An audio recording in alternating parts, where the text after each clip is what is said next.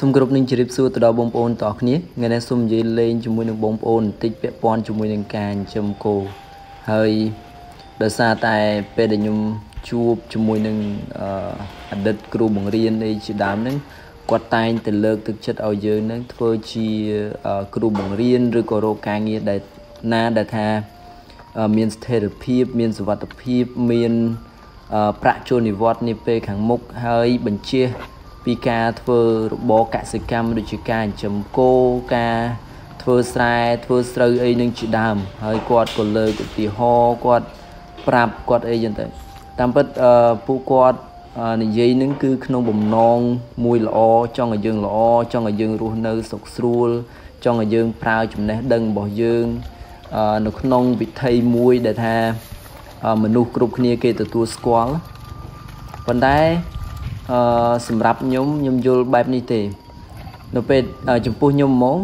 ខ្ញុំអត់ខ្វល់ថារបរនោះវាហត់នឿយឬក៏លំបាកយ៉ាងណាទេឲ្យតែវាជាមុខរបរសុចរិតហើយជាមុខរបរមួយដែលអាច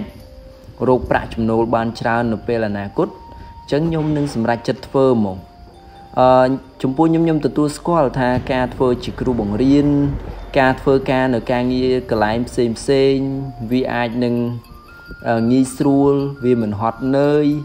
ប៉ុន្តែការងារទាំងអស់នេះបងប្អូន ជាពិសេសដូចជាមុខរបរគ្រូបង្រៀនសំទោសបងប្អូនដោយសារតែថ្ងៃនេះមេឃវារោភ្លៀងអញ្ចឹងវាអាចមានសម្លេងខ្យល់មួយចំនួនសង្ឃឹមទៅបងប្អូននឹងផ្ដោតការជឿចិត្តឬដាក់នៅអ្វីដែលខ្ញុំកំពុងនិយាយនេះអញ្ចឹងត្រឡប់ចូលម្ដងទៀតបើន័យថា ការធ្វើការងារជាគ្រូបង្រៀនធ្វើការងារជាមន្ត្រីរាជការអីនឹងជាដើម វាជាការងារល្អមួយ វាជាការងារមួយដែលស្រួលសម្រាប់យើង មិនលំបាកទេហើយយើងមិនហត់កម្លាំងកាយប្រមាណទេ យើងប្រើចំណេះដឹងអីចឹងទៅឬក៏បងប្អូនខ្លះទៀតគាត់ធ្វើការជាគ្រូបង្រៀនជាមន្ត្រីរាជការហើយគាត់យកលុយដែលគាត់សន្សំបាននឹងទៅវិនិយោគទៅលើចំណុចណាមួយទៅរកស៊ីបើកចាប់ហួយឬក៏លក់សាំងលក់អីចឹងទៅអានឹងវាជាផ្នែកមួយហើយសម្រាប់ខ្ញុំខ្ញុំអត់បដិសេធទេខ្ញុំអត់ ច្រានចោលនៅគំនិតទាំងអស់នឹងទេព្រោះខ្ញុំឥឡូវក៏ដើរលើវិធីមួយនឹងដែរខ្ញុំជាគ្រូបង្រៀនមែនតែនជាក់ស្ដែងបងប្អូនបើសិនជាខ្ញុំមិនជាគ្រូបង្រៀនទេខ្ញុំពិបាកនឹងរកលុយទៅទិញគោបានណា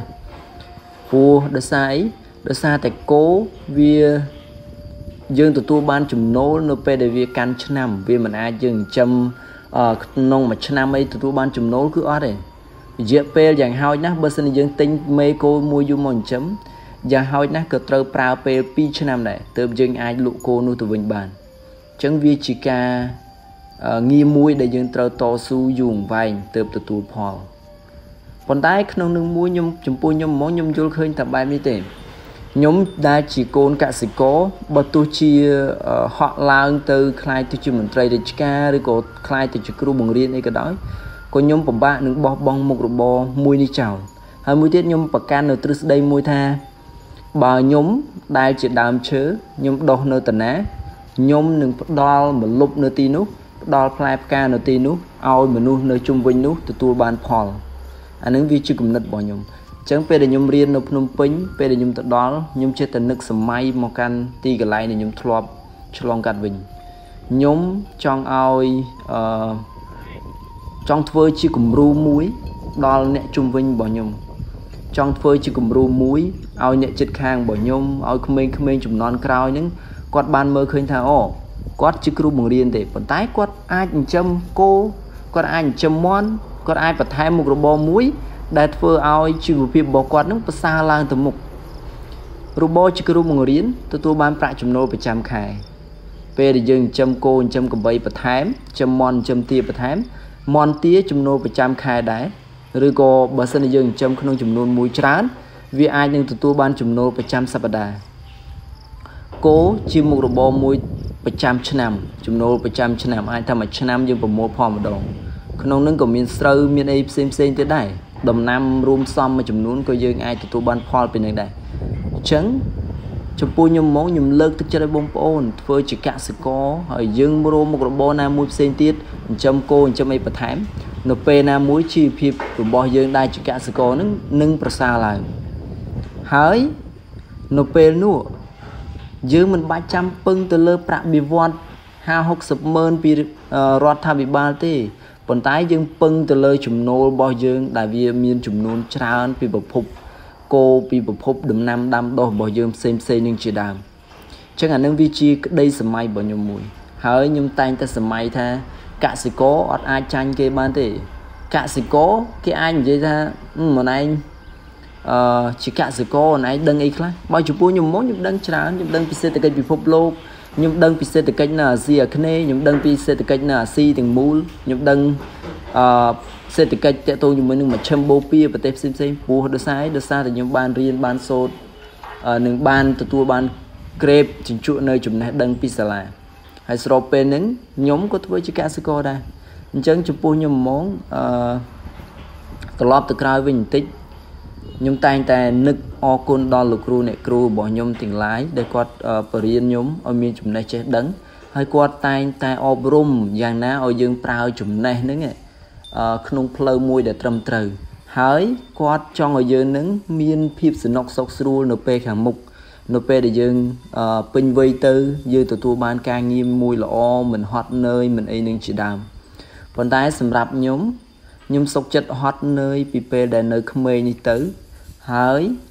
ហត់នឿយក្នុងនាមជាកសិករប៉ុន្តែយើងបានធ្វើជាគំរូមួយ បានធ្វើជាយើងហៅថា model មួយសម្រាប់កសិករដទៃទៀតឲ្យគាត់យកគំរូតាមឲ្យគាត់រៀនសូត្រតាមឲ្យគាត់ធ្វើតាមហើយកុំឲ្យគាត់ពេលខ្លះទៀតយើង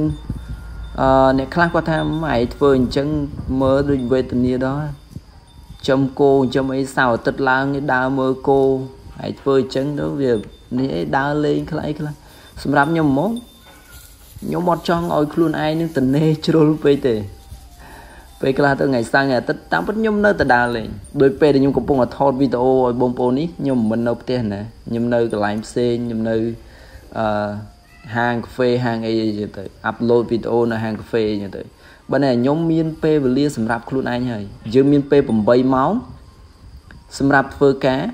8ម៉ោងទៀតសម្រាប់សបាយជួបជុំគ្រួសារមានពេលខ្លះលំហែកាយសម្រាប់អីខ្លះ